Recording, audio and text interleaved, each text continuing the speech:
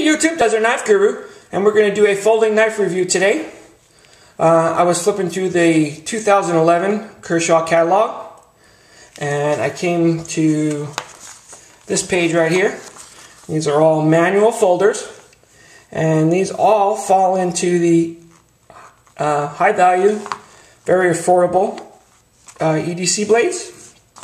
I was kind of going through them, and I did a review on the G10 Hawk I did a review on the OD1, I'm pretty sure.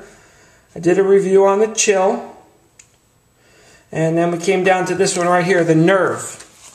And that kind of caught my eye. I like the shape of it. I like the uh, what looks to be a good ergonomic handle. And this is this one right here. And this is the uh, Nerve 3420. So I kind of made like a mental notes putting that on my kind of my check that out list because it's very affordable.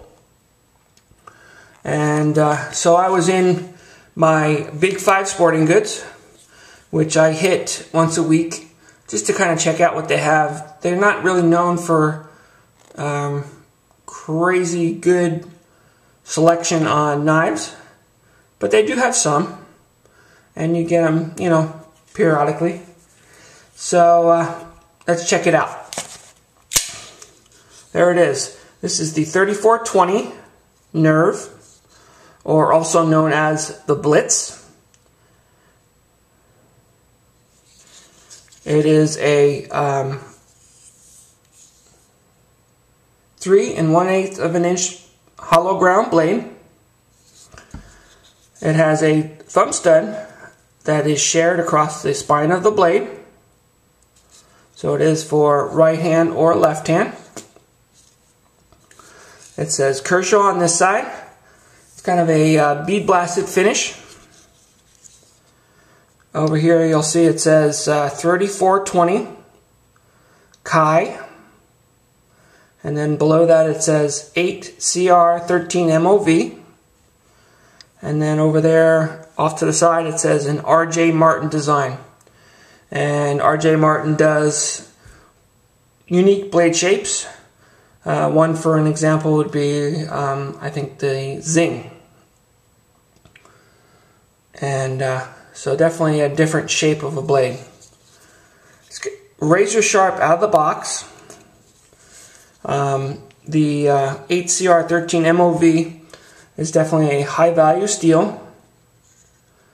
And uh, Kershaw is using this, I think, more, and more and more every day. The uh, handles are going to be CNC machined G10. And um, the overall length on this is going to be seven and a half inches. The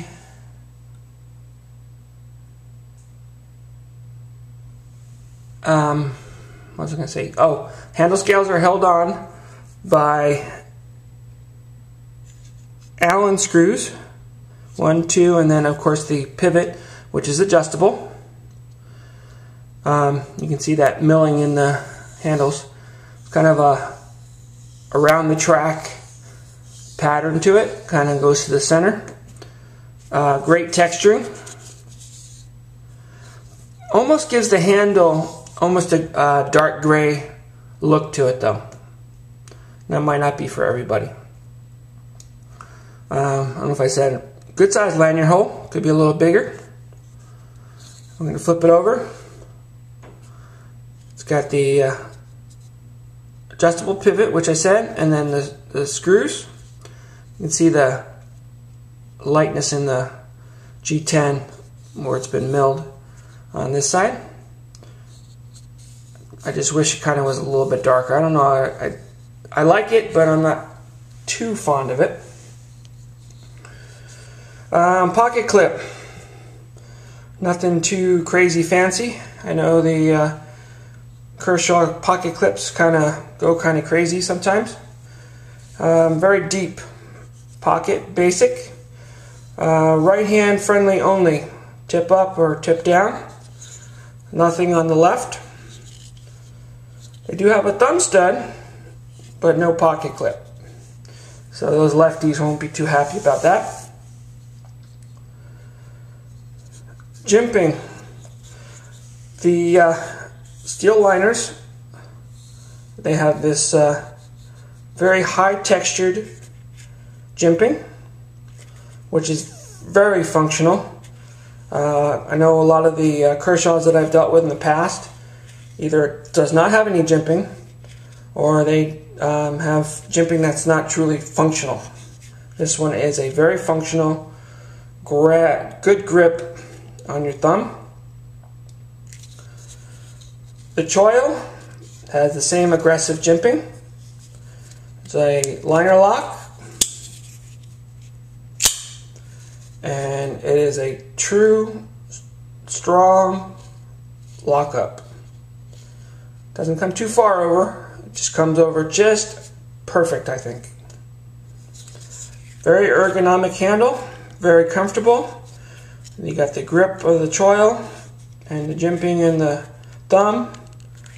And you got some jimping back here, which bites into the meat of the palm of your hand. Or in the reverse grip, you could use it for your fat thumb. Very comfortable. MSRP $39.95. I was able to pick this one up for $19. And uh, just a great value. CR13 MOV steel, Chinese steel, excellent, super sharp out of the box, fast deploying, excellent lockup, great value for an EDC blade. Very fast deploying. I mean, I would say as fast as a assisted blade.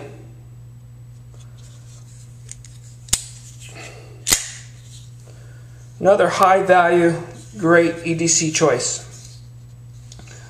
A little heftier, almost a little overbuilt, I mean for the size. It's weighing in at 3.8 ounces.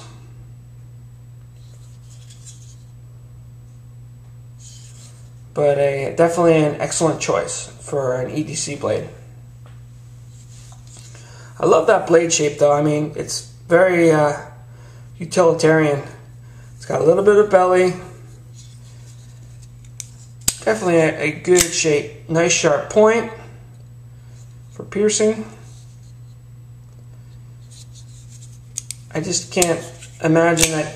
I mean, for the price, definitely a great choice. Okay, so that's the Kershaw Nerve. Any questions? Let me know. Thanks for watching and have a good day.